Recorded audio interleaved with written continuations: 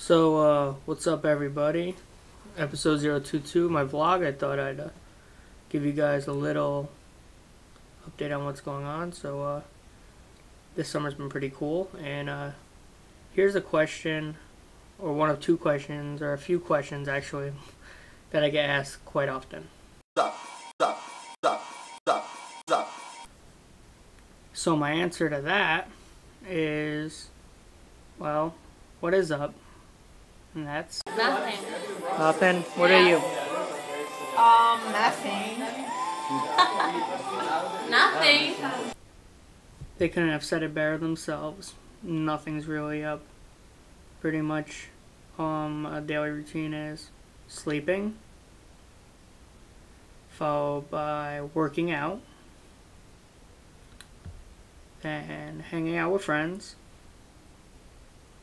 and playing some video games. So, that's pretty much what's been going on with me. Just been getting ready for school which I'm really decently excited about this semester. And uh, there's one other question I do get asked. What? Who's Grayson? What? Who's Grayson? What? Who's Grayson? What? Who's Grayson? Who is Christian? Well, does he mean this guy? Nah, I don't think so. I think he might mean this guy. No? Oh well, figure it out one day. So, pretty much, summer's been entertaining. I've hung out with friends, made new friends, worked out a lot, played video games, just pretty much relaxed.